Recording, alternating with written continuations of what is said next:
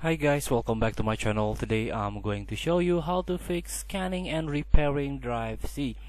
So, the this command line that you can type on a command the CMD this one command prompt on your Windows is to check a NTFS like a displays or modifies automatic disk checking when the computer is started so if your this if your drive gets dirty or you have a boot loop you can check your disk you can check your drive.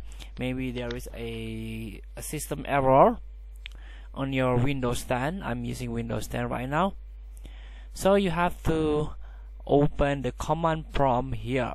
You can run administrator first. All you have to do is type cmd and right click run as administrator here. So you can try to type a this one.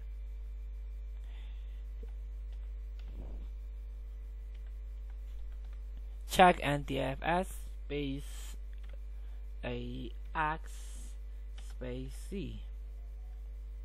This is your drive and then enter so Windows is checking your drive now.